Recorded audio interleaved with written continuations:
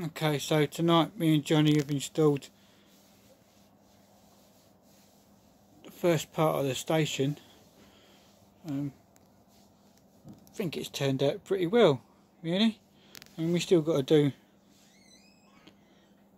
do this end for the cargo, but the fetcher area don't look too bad. I don't think.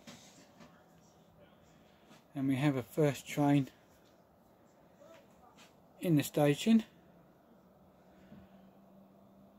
Princess Victoria.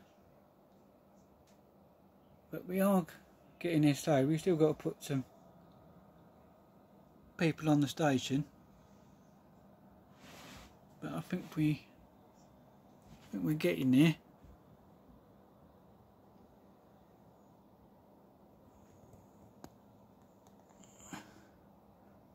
And people will probably say, oh, well, the gap, the gap's too big, but oh well, never mind.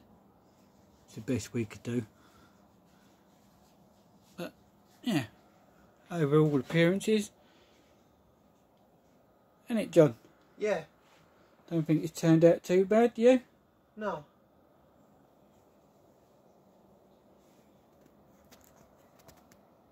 Go.